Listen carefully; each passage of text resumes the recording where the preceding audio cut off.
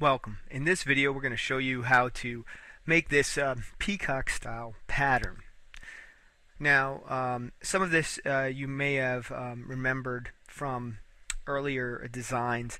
Basically what I'm doing here is I start with my blob brush and I put the blob brush in a situation where it's it's painting something. So I'm going to show you how I'm, I'm going to have it paint some blue here and there you go, so it's painting.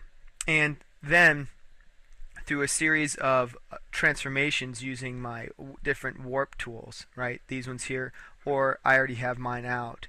Uh, you can bloat areas, right? You can uh, pucker them. And then I also did some swirls on them as well.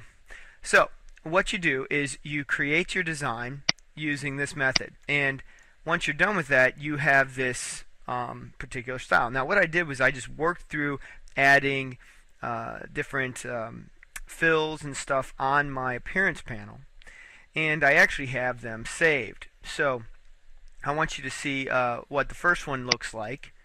And that's the one that I used out here.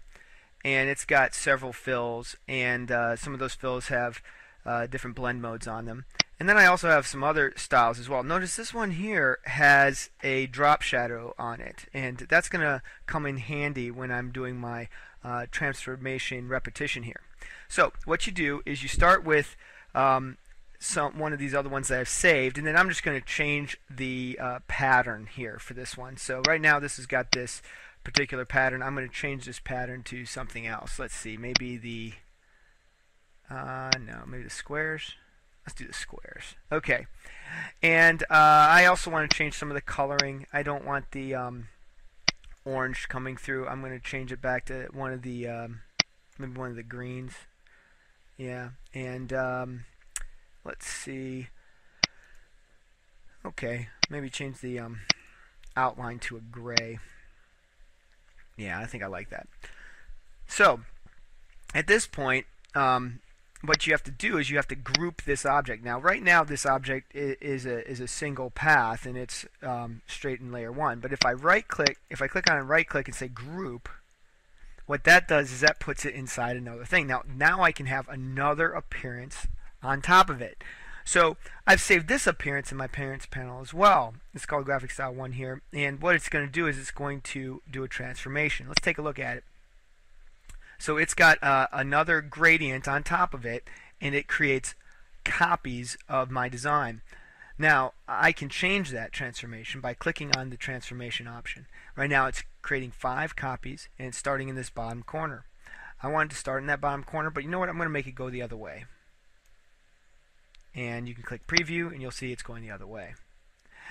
And um, depending on how much you want it to rotate, but uh, basically, this is how you can do it. Now, you can change the scaling to where as it goes out, it gets um, smaller. Some make it smaller. And you can also um, uh, change its um, position as well. And you'll see it starts to move up. All right, I'm going to click OK. So at this point, I think I, I like the way this, this design looks. Okay. Now, for me to rotate this, I want you to see if I rotate it, watch how rotating it, you know, changes the way it looks here. It's still going to work as a group. You see that? Okay. You see how it's still kind of pushing out to the left?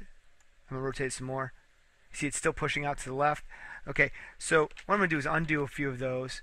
And if I was going to um, make this work again, I would have to uh, do some type of grouping again or something to, to put it inside another another place. So I'm going to put a group again.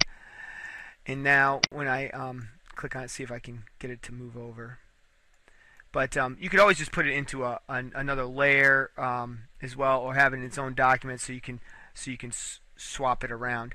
But what I want you to do is basically work like this, where you um, create a pattern and then you save it. Like you create this style and you save the style.